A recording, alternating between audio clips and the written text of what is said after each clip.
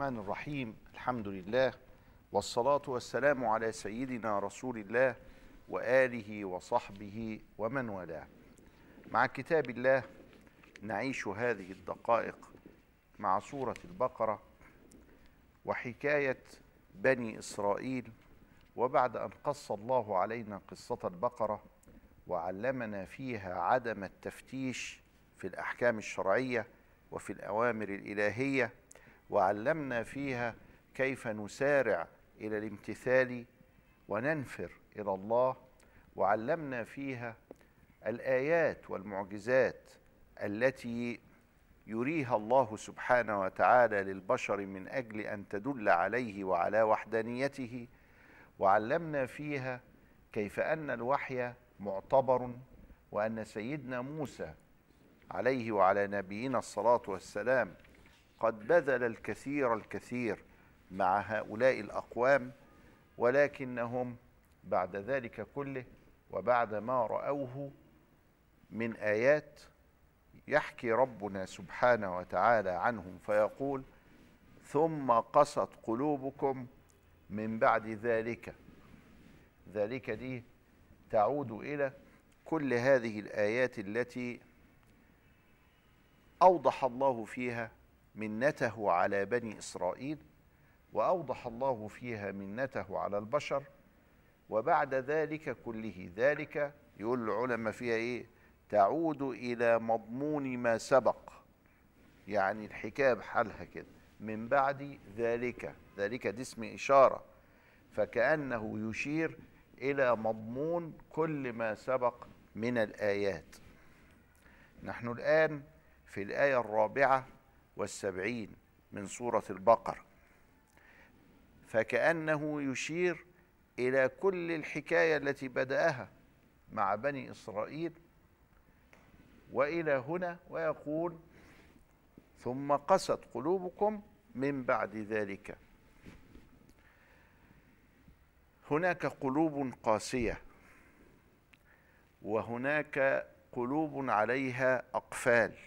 أم على قلوب أقفالها وهناك قلوب عليها غلف وهناك قلوب عليها ران وهناك قلوب عليها حجاب وهناك قلوب مظلمة وهناك وهكذا.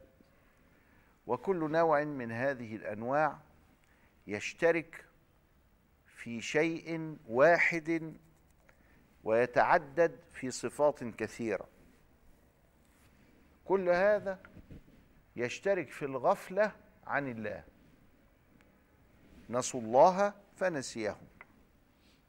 كل هذه الصفات تغفل عن الله سبحانه وتعالى فتتوه في هذه الحياة الدنيا بجزئياتها بتكاثر جهاتها بمجالاتها المختلفة بنكدها بكدرها بشواغلها ومشاغلها فما دام قد غاب قلبك عن ذكر الله وغاب الله عن قلبك فإنك ستتصف بصفة من هذه الصفات ولا بد. قست القلوب القاسية قست قلوبكم. يعني أنها لم يعد يؤثر فيها الذكر. العادة الفطرة التي فطر الله الناس عليها أنه فذكر فإن الذكرى تنفع المؤمنين.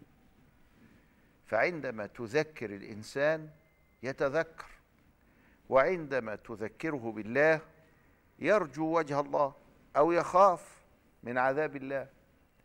ولكن هناك قلوب تذكرها بالله فكأن في آذانها وقر. والذين لم يؤمنوا دائما نجد عندهم إنه في آذانهم وقر. فهنا يقول ثم قست قلوبكم يعني لا ينفع فيها الذكرى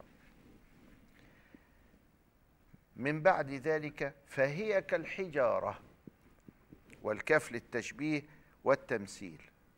والحجارة شأنها الصلادة والصلابة. والحجارة شأنها أنها لا تتحرك إلا بمحرك. فلو تركنا هذا العمود هكذا هنا وهو من الحجارة وجئنا غدا وجدناه كما هو. الحجارة. فالحجارة صلبة وليست لينة. بحيث انها إذا أصابت أحدنا فإنها تصيبه. لكن لو في ورقة مثلا نزلت على دماغنا كده أهو ما تصيبوش لأنها لينة. ماء نزل علينا لا يصيبنا بشيء إنما الحجر لما ينزل عليك يعورك. وإن من الحجاره بيقول إيه فهي كالحجارة. وبعدين وهو يعلم من خلق ألا يعلم من خلق وهو اللطيف الخبير؟ استخسر فيهم إن إنها تكون زي الحجارة. يعني لما هيشبه قلوبهم بالحجارة يبقى كأننا ظلمنا الحجارة. ليه؟ لأن الحجارة لحسن تفتكرها كل حجاره ده بعض الحجارة دي ده إحنا لو دقينا مسمار في الحجارة برضه يدخل. ما يقباش الحجر إن هو يستقبل المسمار.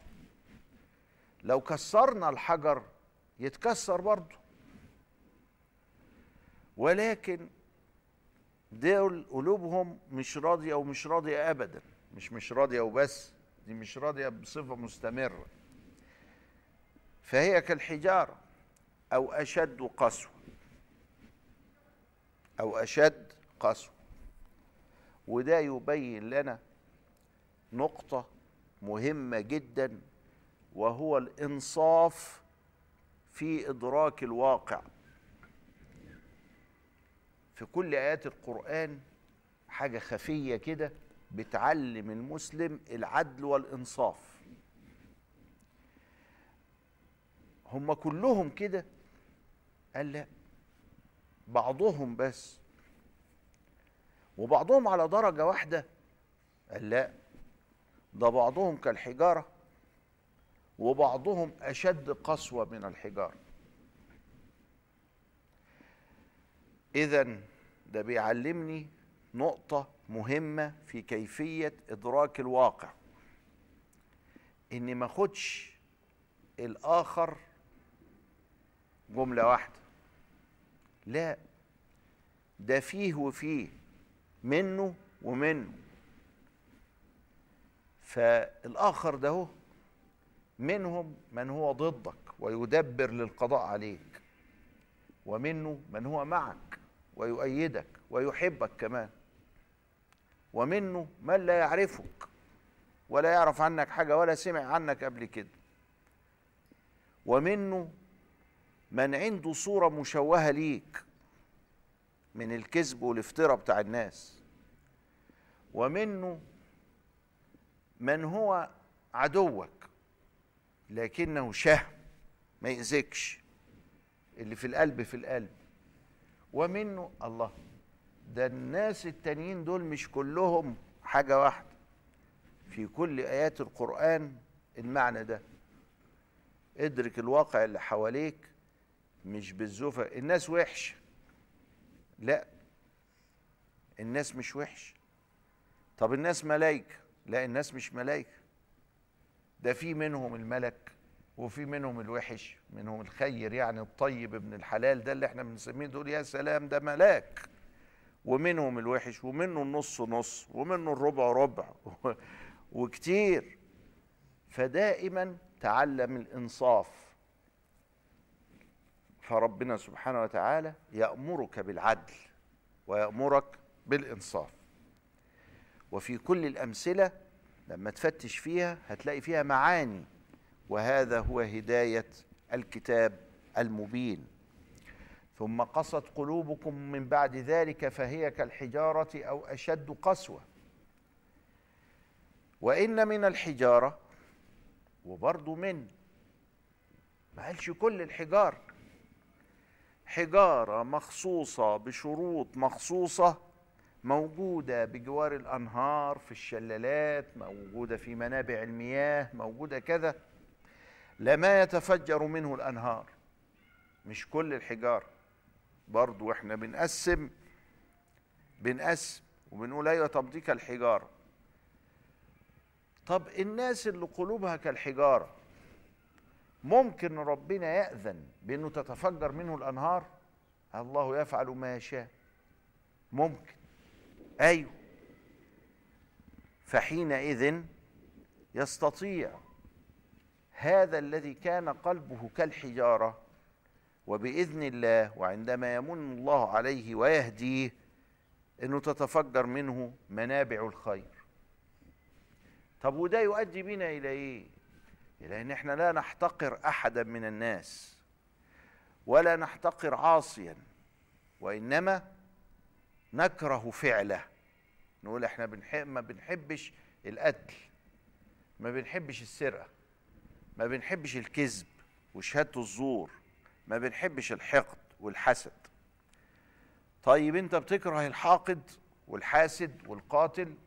قال طب أمال هدعوه إزاي؟ ما أنا لو كرهته ما أعرفش ادعوه ما أعرفش ارشده إلى الخير. فانا اكره الفعل الوحش لكن ما ما اكرهش الانسان حتى ولو فعل هذا الفعل.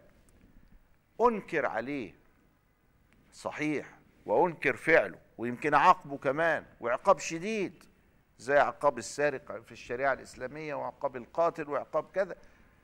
ولكن لا أكرهه ما أكرهوش ابدا. طيب. إنك لا تهدي من أحببت ولكن الله يهدي من يشاء. فلو هداه الله ده والهداية كانت جت عن سببك من يعني من كلمة أنت قلتها ولا حاجة قوم ربنا يفجر من هذه الحجارة. الله دي حجارة صحيح. أي يفجر من هذه الحجارة يفجر منها الأنهار ويجعل منها الينابيع. فكأن الآية تشير إلى أننا لا نحتقر أحدا ولا نحقر أحدا من البشر ولكن نحقر أفعالهم وقسوة قلوبهم ولكن نتمنى لهم الخير ونتمنى لهم السعادة ونقول إن هذا الحجر يمكن أن يتفجر منه الأنهار. فبفتح له مع هذا كله باب الرحمة وباب الخير وعدم اليأس. من رحمة الله.